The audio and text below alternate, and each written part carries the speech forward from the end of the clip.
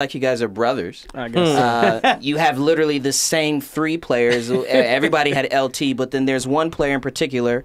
Uh, started off Devin uh, that you guys share that it was really. I mean, I didn't, I hadn't, I didn't know about this guy. You talking about Mr. Tunnell? Mr. Tunnell. Emlen Tunnell. Emlen Tunnell. Emlen Tunnell is the first black player to play for the Giants. Okay. Period. He is the first black player 1948. into the NFL Hall of Fame, first ballot, Mm. 1967. Um, not only is he the Giants' all-time leading uh, interceptor leader with 74, he's second all-time with 79. Period. In the history, Was he a corner? Was he safety? DB. He was a DB. He played. He played everywhere.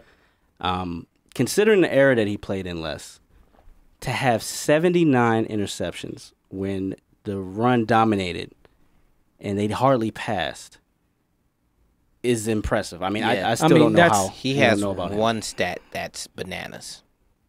One that is there was a season, I'm not sure if it was 51 or 52, where he had more interception and kickoff punt return yards than a leading rusher in the league. wow. was 52. Wow. I mean, he he had se- a total of 79. And in that era, like you said, it was a lot of running. yeah. Um, they played a defense. It was an umbrella defense where they had five DBs. Whiteboard. Now, we need- we now need a coach. Now it's a well, well I, because it's umbrella, but it's the cloud defense. Yeah, it's a cloud It's a defense, cloud yeah. defense. But the way they used him is almost he was he played cornerback, but they used him almost like a safety, like an Earl Thomas type. Okay. He played all over the field. He didn't stay to one side. Mm-hmm. He was basically the top of that umbrella if he wasn't man up on somebody.